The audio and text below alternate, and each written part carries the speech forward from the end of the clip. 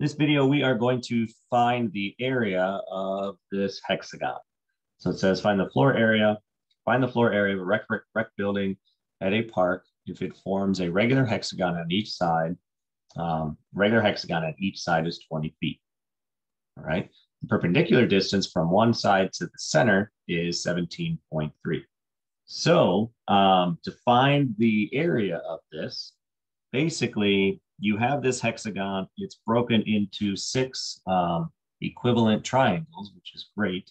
And really all we have to do is if we break apart one of these triangles, the base is 20, and they wonderfully give us this distance right there,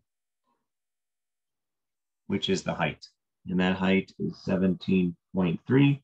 So really we just want to find the area of that one shape, which is one half base times height for your triangle. So half um, base is 20, height is 17.3.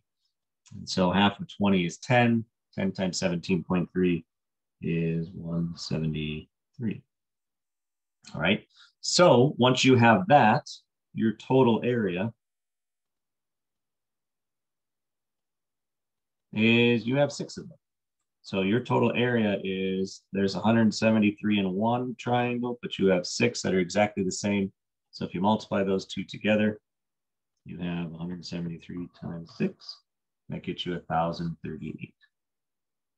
So 1,038, and then we'll throw a label on there, feet squared. Okay. And that always works for a um, for a regular hexagon, it, well, one nice thing about it is they gave us this height and they gave us essentially the base.